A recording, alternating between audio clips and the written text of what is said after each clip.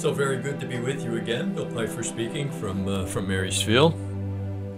Each time we get together, I'm going to try to do something again that uh, will touch both your intellect and, and your heart as well. Always a story that uh, will leave you feeling uh, good about yourself or about the situation that we're in. The situation is is difficult, isn't it, at the present moment? Uh, every morning for the last 10 years, uh, even when I was teaching school between 6 in the morning and 6.15, my wife and I would say a rosary for the 12 uh, immediate members of our family. And then we added, uh, after the 12th, we would say uh, uh, one for Mary, one for the poor souls, and then uh, one for whoever was president, uh, Trump at the time. And right now, you know, today we said a, a rosary for uh, for Mr. Biden, and he needs all the help he can get. The, you know, clearly he's suffering from either Alzheimer's or dementia, and no one knows who's running the the operation at the at the White House at this particular point. And and recently, you know, him he and uh, you know the Speaker of the House Pelosi being very happy about uh, sending abortion kits to people's houses, so now they can end up having an abortion in their in their own uh, bedroom. What a terrible, terrible thing that is to do. You know, I don't. I believe no one should do make any decisions on abortion without seeing one or watching a baby be dismembered. Uh, then there might be another kind of uh, reflection before you end up doing things. I think yesterday too, the bishops in the country were uh, met to, or or at least they're in in, in uh, consultation with each other about what to do. These are both Catholics who are, you know, obviously and clearly and happily promoting abortion at the deepest of levels. It's just hard to figure out what's going on. It's just, uh, you know, crazy. It's this can- uh, cancel culture in which we're involved in.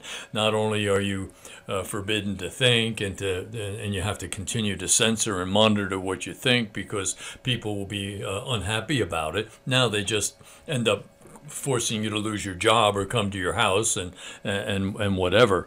Uh, and it's just uh, it's it's a bad time, and and uh, we really need to to uh, uh, to be alert to the things that are happening. Know that we're be able to speak now, but I think all of the clergy and the bishops need to say something now before they're told they can't say anything at all, as it's not a good time at all. A nice little story, just simply called "Burned Biscuits." Simple message, but it's a good message. When I was a little boy, my mom liked to make breakfast food for dinner every now and then.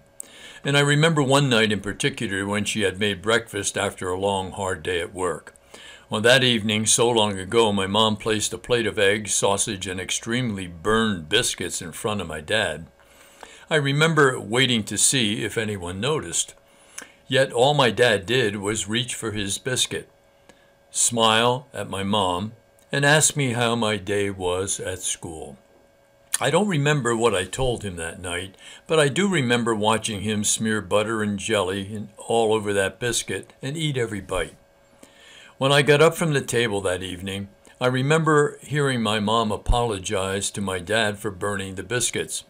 And I'll never forget what he said Baby, I love burned biscuits. Later that night, I went to kiss my dad uh, good night, and I asked him if he really liked his biscuits burned. He wrapped me in his arms and said, Your mama put in a hard day at work and today and today and she's really really tired. And besides, a little burnt biscuit never hurt anyone. Life is full, isn't it, of imperfect things, imperfect people, imperfect situations. That's the story of life. And it's within that life, however, that God is present in each and every one of those events. God is indeed pure energy, and that divine energy enters into everything we say and think and do on a regular basis. What I've learned over the years, the little guy says, is that uh, uh learn to accept uh, uh, other people's faults and choosing to celebrate each other's differences is one of the most important keys to creating a healthy, a growing, and a lasting relationship. That's really nice thing. Another thing is you don't have to say everything that you think. Some people think because they think of it, I gotta share it. Well, you really don't gotta share it.